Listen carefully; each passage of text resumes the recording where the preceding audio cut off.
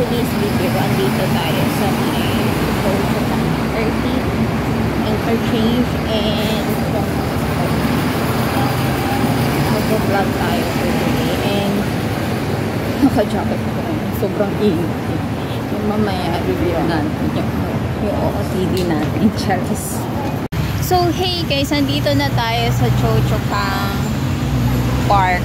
And this is the second time na magtatambay ako dito kasi the last time is just 5 minutes I think. Um, so this one is iikutin natin today. And as you see naka-jacket ako. Sobrang init kasi. So later na lang. Kasi may pupuntahan pa akong ano, other area. So marami din dito nag tumatambay sa park as you see naman so yan so at the back. So dito tayo dito tayo mag start para paikot tayo. Yun. Nakikita niyo yan. So maganda yung ano kasi nga paikot siya. So dito tayo. Sobrang daming puno. Kasi ang daming puno dito medyo maano. So yan. So yan so naka-jacket nga talaga tayo and later na lang tayo magbukupad kasi may pupuntahan pa ako sobrang init doon kasi wala masyadong kapuno-puno doon banda Look guys, naka-high tayo. Ayan. naka-high ako, carry lang. So, kami palang ginagawa dito banda. So, as you see guys, sobrang dito na, um, kung gusto mong mag-relax na, napaka-relaxing ng place kasi nga, sobrang madaming puno tapos, kukunti lang yung tumatambay dito banda. So, syempre, hindi naman kasi to city, kaya konti lang talaga yung tumatambay. At hindi siya malapit sa city kasi bukid na to. bukid na to. And dapat may kasama tayo ngayon, eh, hindi pwede today kasi nga may mga trabaho sila, magpupus ko sila.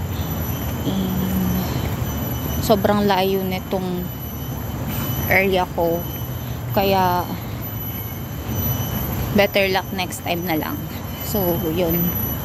So, magkakasama kami. Ikutin namin yung iba't ibang park sana. Eh, sobrang alanganin na din. Medyo tinatamad din akong lumabas.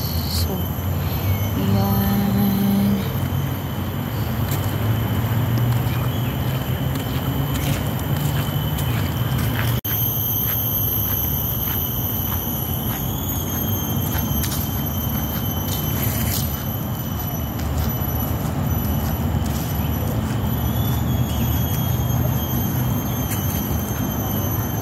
yun na nga guys ano, mamaya ikutin natin doon banda. Eh, syempre ditong dulo muna tayo. Makikita ninyo maraming naka ano dun nakatambay. So siguro mga Filipino din or mga Indonesian. So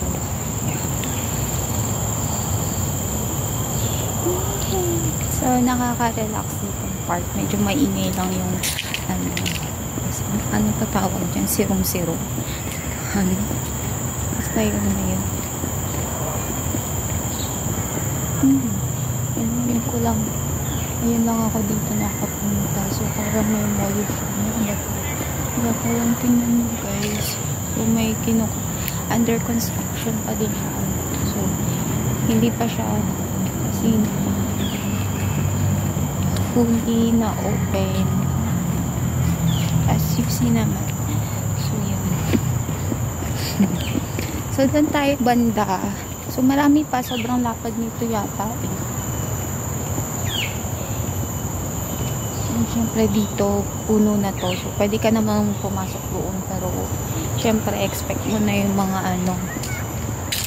Baka may mga ahas dyan sa tabi-tabi. Baka tuklawin tayo. Charis, at mahirap na tayo nag-iisa. Oh, yan. Ang hilig kasi natin mag solo flight. Kasi nakakahiya kasi pag ano, alam niyo yun, pag may kasama ka, And then, ang dami-dami mong gustong puntahan. So, ako kasi hindi ako nag-stick sa isang place lang. Gusto ko marami. Kasi, syempre, sulutin ko yung araw. Yung isang araw na, no.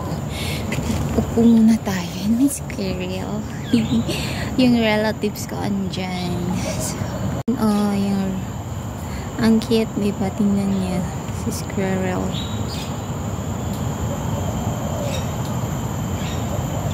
Marami yan dito sa Singapore. So, sa mga puno-puno. So, yan. Ah, guys, so napahubad na tayo ng jacket. Charit. So, punta tayo doon sa may unahan. Doon. Pero hindi tayo pwedeng ano. Lumabas na. Pina, pinapahubad na ako ng jacket ko. Yan mo na dyan. ayoko pa kasi ano, mamaya, ang bilis ko lang kasi mangitim. mangitim. Hiram lang kasi yung kaputian natin at Charis.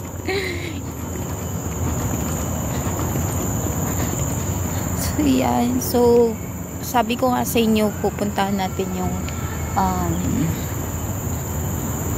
yung mall na yan. Try natin na pumasok dyan kung pwede kasi may nakita naman akong may mga taong ano, pumapasok. Eh, may mga batang naglalaro. I don't know kung open na siya kasi hindi naman, hindi to ano eh, um, I mean, malayo to dito, dun sa place na ini-stayan ng amo. So, yeah. Hindi pwedeng umakyat dun. Gusto ko sana umakyat dun sa taas. Kaso lang, parang hindi. So, ayan na nga tayo guys. So, ang ganda niya. Ayan. Ay, may squirrel. Ayun yung relatives natin nung maka maakyat siya. Kita niyo ba? Ayan siya. Oh. Yan. So, may mga playground din dito. So, yan, nakikita nyo. And then, ayun.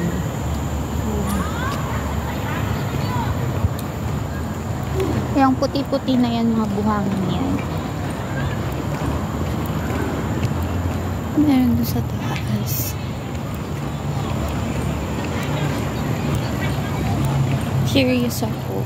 Pwede din naman tayong ano, ano na magbike dito. Kaso lang, ayoko magbike. Try ko, nakahihil ako eh. So, open na pala talaga siya. Yun na nga guys, nandito na tayo. So, yan. So, nakikita ninyo, dami tao sa loob. so, doon tayo sa may unahan. Medyo, etong front na lang yung gamitin natin kasi mas malinaw. And as you see, ang ganda. So, bago to, bagong construct to. Siguro wala pa tong year. Yan. Energy 1. Ganda niya sa taas. So, guys, kompleto din sila. May McDonald's din sila dito.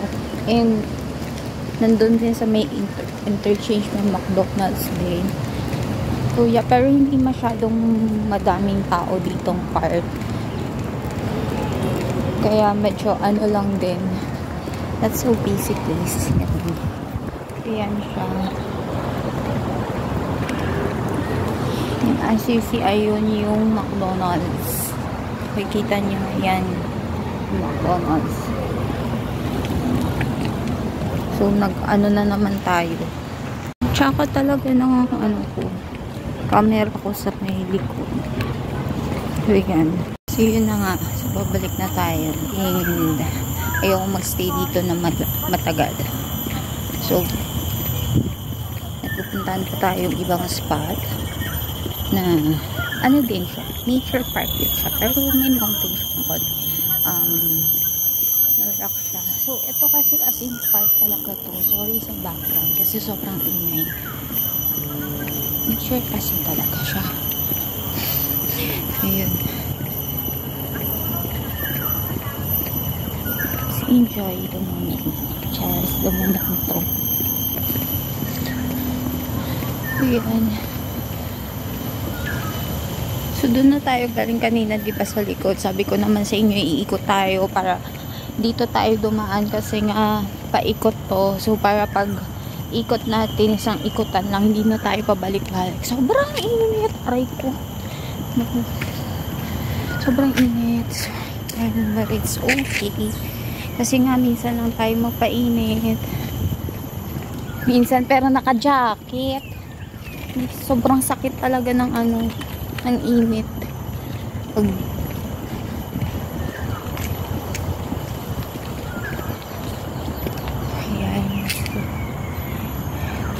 ka. Pero guys, hindi dito banda yung bahay ng amo ko. Malayo pa. So, kailangan ko pang sumakay ng isang bus from here.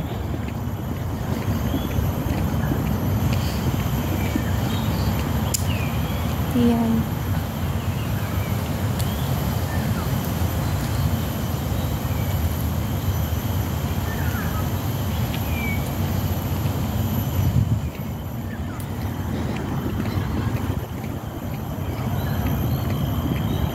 So, as you see, may, ano, may playground dito.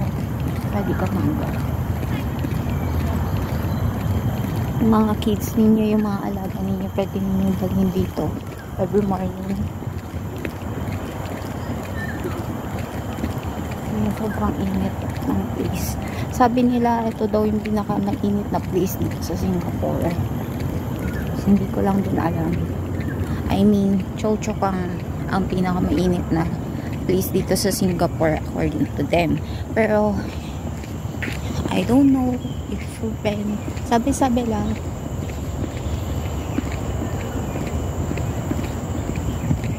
So, yun lang. Ganun lang siya kaliit tong park na to. And may, meron sila mga ano, mga gardening dito.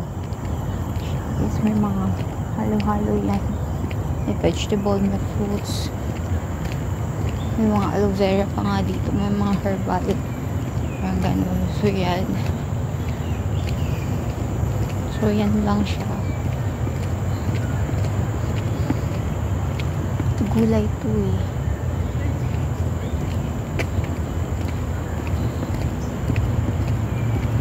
So, guys, palabas na tayo in sobrang init. Grabe. It's 1 p.m. in the afternoon. Charot. 1 p.m. na nga eh. Irita to. Party ha. Ayan. Sobrang init. So yun, doon na tayo galing kanina and ikutin natin ditong park. So pa-exit na to. Sa station na yun sa susunod. And maraming na dito. Um, maraming mga plants na mga herbal. And mga ano mga vegetables.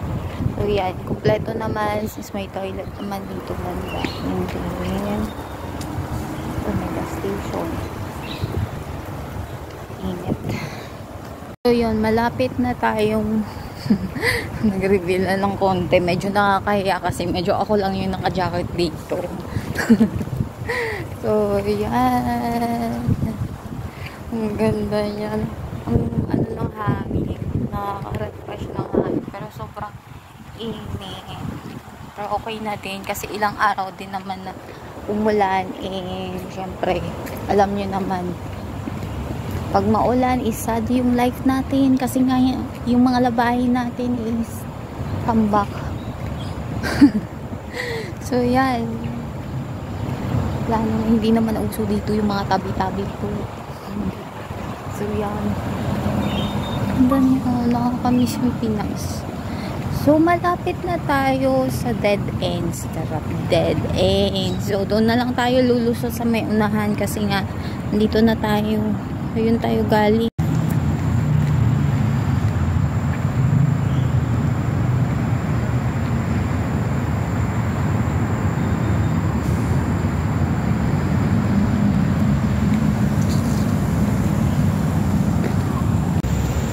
So yun na nga guys, andito tayo sa isang part sa ano na siya, medyo hindi naman siya creepy.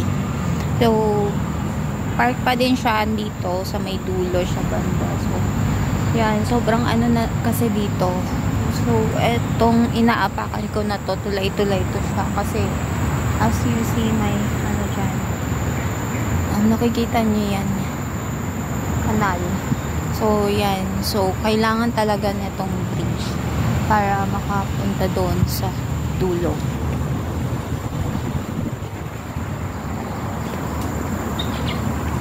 Ganda ng hangin dito. Sarap magstay.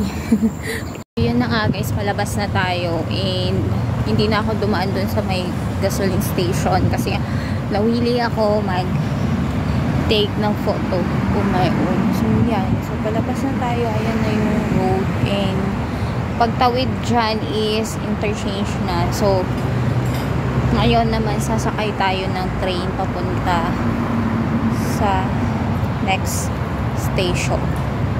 So, gumbak lang naman siya from here is one station lang naman. So, yeah.